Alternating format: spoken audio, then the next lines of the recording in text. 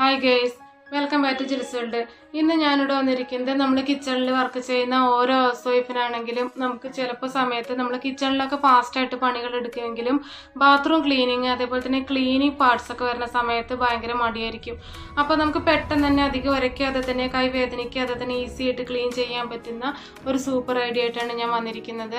അപ്പോൾ നിങ്ങളുടെ വീട്ടിലുള്ള ബാത്റൂം ക്ലോസറ്റ് ആണെങ്കിലും അതേപോലെ തന്നെ ടൈൽസ് ആണെങ്കിലും വാളാണെങ്കിലും ഒക്കെ നമുക്ക് ഇത് വെച്ചിട്ട് ക്ലീൻ ചെയ്യാവുന്നതാണ്. പിന്നെ അത് മാത്രമല്ല കേട്ടോ. കിച്ചൺ സിങ്ക് ആണെങ്കിലും പിന്നെ വാഷ് ബേസിൻ ആണെങ്കിലും പൈപ്പ് ആണെങ്കിലും ഒക്കെ നമുക്ക് ഇത് വെച്ച് ക്ലീൻ ചെയ്യാവുന്നതാണ്.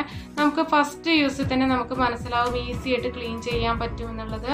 അപ്പോൾ നമ്മുടെ ബാത്റൂം നമുക്ക് ഈസി ആയിട്ട് തന്നെ ക്ലീൻ ചെയ്യാം. നമ്മുടെ റൂം ക്ലീൻ ചെയ്ത് കിടക്കുന്ന അതേപോലെ തന്നെ നല്ല സൂപ്പറായിട്ട് നല്ല ഫിനിഷിങ്ങോട് കൂടെ തന്നെ ക്ലീൻ ചെയ്തെടുക്കാനായിട്ട് പറ്റും. അപ്പോൾ അതെങ്ങനെയാണ് നമുക്ക് വീഡിയോയിലൂടെ നോക്കാം. അതിനായിട്ട് ഞാൻ മെയിനായിട്ട് യൂസ് ചെയ്യുന്നത് ബേക്കിംഗ് സോഡയാണ് ഈ ബേക്കിംഗ് സോഡ സോഡ പൊടി അപ്പ സോഡ എന്നൊക്കെ പറയണ ഒന്ന് തന്നെയാണ്. നമ്മൾ കുക്കിങ്ങിന് യൂസ് ചെയ്യുന്ന അതേ ബേക്കിംഗ് സോഡ തന്നെയാണ്. പിന്നെ നമ്മൾ ക്ലീനിങ്ങിനാവുന്ന സമയത്ത് നമുക്ക് ലോക്കൽ ബേക്കിംഗ് സോഡ വാങ്ങി വാങ്ങിയാൽ മതിയാവും. പിന്നെ വിനാഗിരി. വിനാഗിരി ഏത് തന്നെ ആയാലും വേണ്ടില്ല. നമ്മുടെ വീട്ടിലുള്ള ഏത് തരം വിനാഗിരി എടുത്താലും നമുക്ക് കുഴപ്പമില്ല. പിന്നെ അതിലേക്ക് വേണ്ടത് liquid dish wash liquid dish wash നമുക്ക് ഇതേപോലെ പാക്കറ്റിൽ വാങ്ങിക്കാനായിട്ട് കിട്ടും. ഇരുപത് രൂപ പതിനഞ്ച് രൂപയൊക്കെ ഉള്ളൂ. അപ്പോൾ അത് വാങ്ങിക്കുകയാണെങ്കിൽ നമുക്ക് ക്ലീനിങ്ങിനായിട്ട് യൂസ് ചെയ്യുകയും ചെയ്യാം. പിന്നെ ഇതിൽ മെയിനായിട്ട് വേണ്ടതാണ് വേറൊരു കാര്യം കൂടി ഉണ്ട് ഉജാല.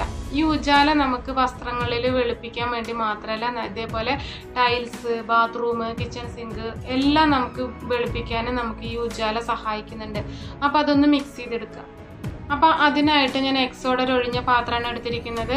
അതിലേക്ക് നമുക്ക് ആദ്യം തന്നെ ബേക്കിംഗ് സോഡ ഇട്ട് കൊടുക്കാം ബേക്കിംഗ് സോഡ അളവ് പറഞ്ഞാൽ നിങ്ങൾ ഒന്നോ രണ്ടോ എത്ര ബാത്റൂമാണ് കഴുകുന്നത് അതിനനുസരിച്ച് നമുക്ക് കൂട്ടിയും കുറച്ചൊക്കെ വരാം. കൂടുതൽ ലൂസ് ഫോമിലാവാതിരിക്കാൻ ശ്രദ്ധിക്കണം. നമ്മുടെ കയ്യിൽ നിന്ന് കൂടുതലായിട്ട് ഇങ്ങനെ പുറത്തേക്ക് പോവുകയാണെങ്കിൽ നമുക്ക് കുറച്ച് തിക്ക് ഫോമിലായിരിക്കുന്നുണ്ടെങ്കിൽ നമുക്ക് പെട്ടെന്ന് തന്നെ ഈസി ആയിട്ട് ക്ലീൻ ചെയ്തെടുക്കാം. പിന്നെ നമ്മൾ ഇട്ട് കൊടുത്ത ബേക്കിംഗ് സോഡയിലേക്ക് കുറച്ച് വിനാഗിരിയും കൂടെ ഒഴിച്ചു കൊടുക്കുക. ഞാൻ കറക്റ്റ് അളവൊന്നും പറയുന്നില്ല. അതൊന്ന് നനഞ്ഞാൻ പാകത്തിന് ബേക്കിംഗ് സോഡ ഇട്ട് കൊടുക്കുക. അപ്പോൾ റിയാക്ഷൻ വരും. അത് തന്നെ താഴത്തേക്ക് പോക്കോളും. ഒരു മിനിറ്റ് ഒരു സെക്കൻഡുകൾ കഴിഞ്ഞ് കഴിഞ്ഞിട്ടുണ്ടെങ്കിൽ താഴത്തേക്ക് പോക്കോളും. പിന്നെ അതിലേക്ക് നമ്മൾ ഡിഷ് വാഷ് ഇട്ട് കൊടുക്കുക. ഇനി ഡിഷ് വാഷ് ഇല്ല എന്നുണ്ടെങ്കിൽ ഷാമ്പു ഏതെങ്കിലും യൂസ് ചെയ്യാവുന്നതാണ്. ഒരു ടീസ്പൂൺ ലിക്വിഡ് ഡിഷ് വാഷും കൂടെ ചേർത്ത് കൊടുക്കുക. ഇതേപോലെ വിമ്മ് അതേപോലത്തെ ലിക്വിഡ് ഡിഷ് വാഷ് ആവുമ്പോൾ നമ്മുടെ കയ്യിന് വളരെയധികം സേഫ് ആയിരിക്കും.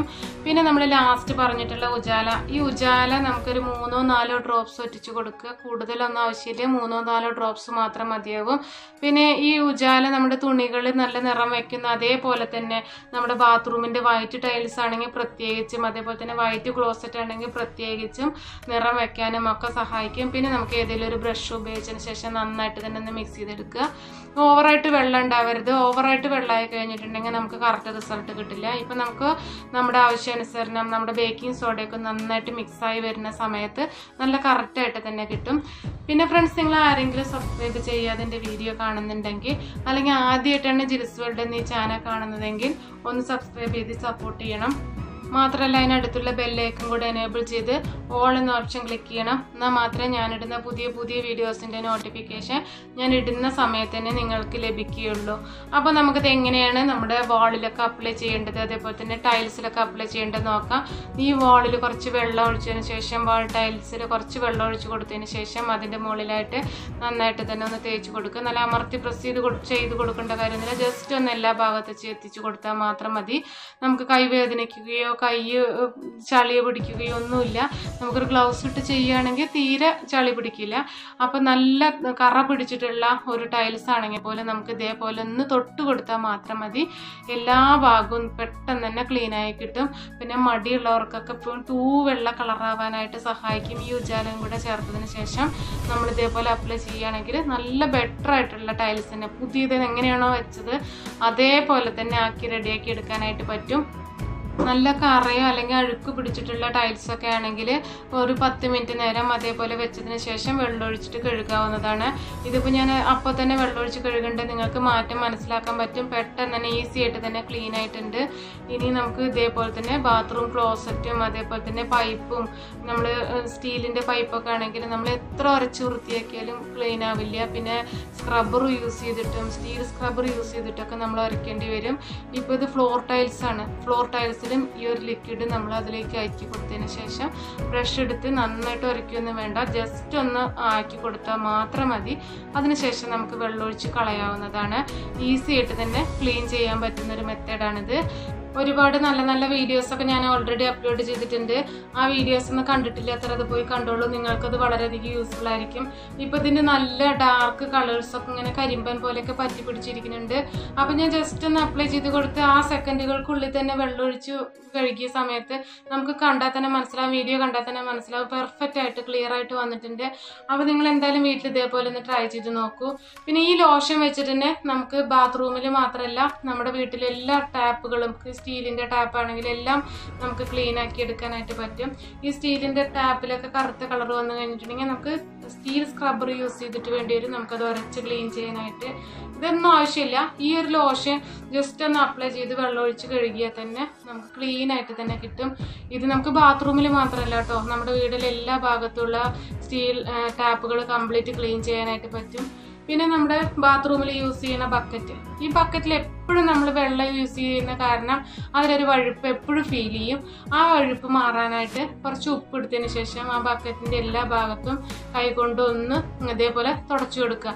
അങ്ങനെ ചെയ്താൽ തന്നെ ആ ബക്കറ്റിലുള്ള എല്ലാ വഴുപ്പും തന്നെ മാറി കിട്ടും.